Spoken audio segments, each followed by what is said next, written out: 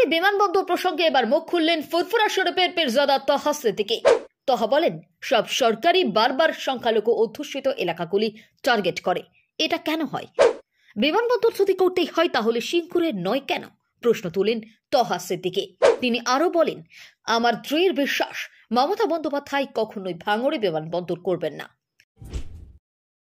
প্রসঙ্গত জানিয়ে রাখি, কয়েকদিন আগে একটি খবর প্রকাশিত হয় যে ভাঙড়ের রাজ্যের দ্বিতীয় বৃহত্তম বিমানবন্দর করার জন্য জমি খোঁজার দায়িত্ব জেলা প্রশাসনকে দিয়েছে নবান্ন। এই পরেই বিমানবন্দর করার বিরুদ্ধে কড়া প্রতিক্রিয়া দিয়েছিলেন ভাঙড়ের বিধায়ক নওসাদ সিদ্দিকি। নওসাদ বলেছিলেন, ভাঙড়ে বিমানবন্দর হলে এখানকার সংখ্যালঘু মানুষদের পাঁচ ফসলি জমি হাতছাড়া হবে।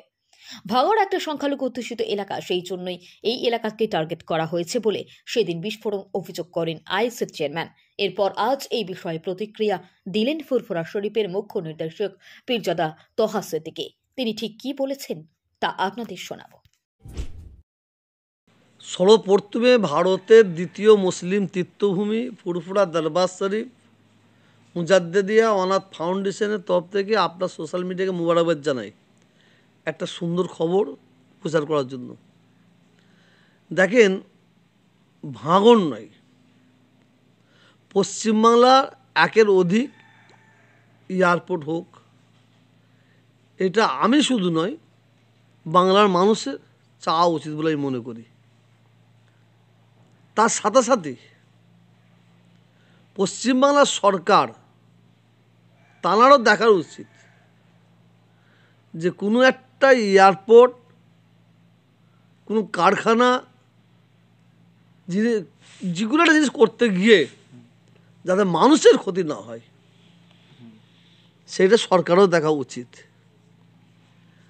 আপনি জানেন কি জানি না, আশা করি জানেন রাজারহাট রাজারহাটে আজকে যত বড় বড় বিল্ডিং দেখছেন, যত হিটকোর এ দেখছেন, সব দেখছেন।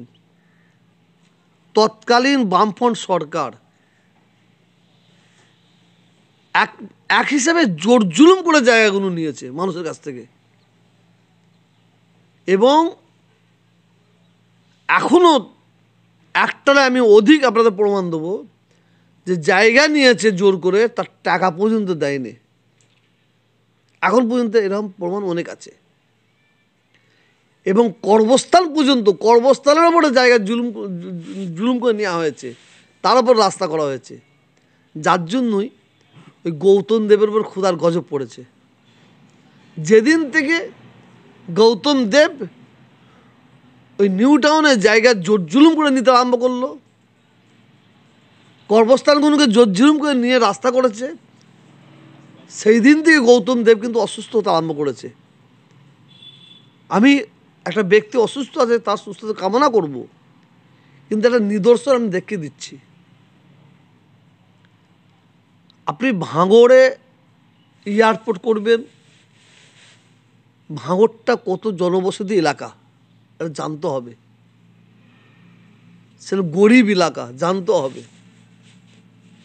কেন ভাঙর তো শুধু টার্গেট করে। আমি দেখেছি যে কোনো সরকার আসে সংখ্যালঘু এলাকাগুলো টার্গেট করে।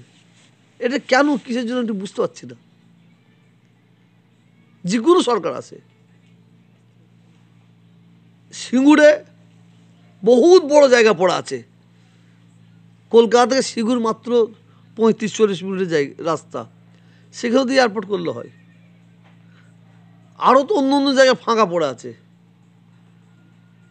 একটা শুধু ভাঙড়ে তো সংখ্যালঘুরা বাস করে না মেজরিটি সংখ্যালঘু বেশি। কিন্তু সেখানে মানে এয়ারপোর্ট করব, এই মন মানসিকতা মানুষ ভাবছে। নিউ টাউন গেলে ভাবছে? নিউ টাউনে গৌতম দেব, মুসলিম এলাকাগুলো, মাইনরিটি এলাকাগুলো উচ্ছেদ করে দিয়ে এই এই এই জিনিস করেছে। পশ্চিমবাংলার মুখ্যমন্ত্রী কি ওই ভাঙড়ের মুসলিমদের মাইনরিটিদের উচ্ছেদ করে দিয়ে এয়ারপোর্ট করার একটা পরিকল্পনা করছে? এটা মানুষ বলছে। আর এইটাকে কেন্দ্রীয় করে কিছু বিরোধী দল, তা তো নাববি তাদের একটা বড় সুযোগ তো। তারা এর বিরোধী করবেই। তারা বিরোধী করছে তাদের রাজনীতির ফয়দার জন্য। রাজনীতি ফয়দা নেবার জন্য তারা বিরোধী করছে। আমি বিরোধী করছি রাজনীতি ফয়দা, আমার কাছে কোনো রাজনীতি ফয়দা নেই। আমি মানুষের জন্য কথা বলছি। এবার বাংলার মানুষও বলবে লোকালিটি এলাকায় মাইনরিটি এলাকায়, যেখানে মানুষ বাস করে, সেই জায়গায় এয়ারপোর্ট না করাটাই অতি উত্তম। পশ্চিমবাংলার মুখ্যমন্ত্রীর কাছে আমার অনুরোধ থাকবে, ভাঙরটা ছেড়ে দিয়ে অন্য জায়গায় বিবেচনা বিবেচনা করুন। কারণ ভাঙড়ের মানুষ খুব অসহায় মানুষ, খুব গরিব মানুষ। এইভাবে মুসলিমদের প্রতি, মাইনরিটির প্রতি জোর জুলুম করা মোটেই উচিত নয়। যে জোর জুলুমটা করে আজকে হিটকো তৈরি হয়েছে, রাজারহাট তৈরি হয়েছে, যে জোর জুলুম বামফ্রন্ট সরকার করেছে, গৌতম দেব করেছে মুখ্যমন্ত্রী অবশ্যই জানেন, ওই এলাকার এমন এমন জমি লিয়া আছে এখনও টাকা পয়সা দেওয়া হয়নি। টাকা পয়সা দেওয়া হয়নি। এটা মুখ্যমন্ত্রী জানেন। তা আমি অনুরোধ করব, ভাঙরটা ছেড়ে দিয়ে অন্য জায়গায় বিবেচনা করার জন্য। আপনারা দেখছেন বেঙ্গল টাইমস। আপনার বা আপনার এলাকার যে কোনো খবর বা ব্যবসায়িক বিজ্ঞাপন দিতে ফোন করুন, six two nine seven four seven two one seven five নম্বরে জেলার রাজ্য, দেশ বা আন্তর্জাতিক খবর, খেলাধুলা, শিক্ষা, স্বাস্থ্য বা রাজনৈতিক খবর, এক কথায় সারাদিনের বাছাই করা সেরা দশটি খবর দেখুন প্রতিদিন রাত ঠিক দশটায়। শুধুমাত্র আপনাদের প্রিয় চ্যানেল বেঙ্গল টাইমসে। বেঙ্গল টাইমস নিরপেক্ষ সংবাদ। আপনারা দেখছেন বেঙ্গল টাইমস। প্রতিদিনের গুরুত্বপূর্ণ খবরের আপডেট পেতে অবশ্যই বেঙ্গল টাইমস ইউটিউব চ্যানেলটি সাবস্ক্রাইব করুন, পাশাপাশি ফলো করুন বেঙ্গল টাইমস ফেসবুক পেজটিও সুস্থ থাকুন, ভালো থাকুন, আর অবশ্যই দেখতে থাকুন আপনাদের প্রিয় channel Bengal Times. Bengal Times নিরপেক্ষ সংবাদ।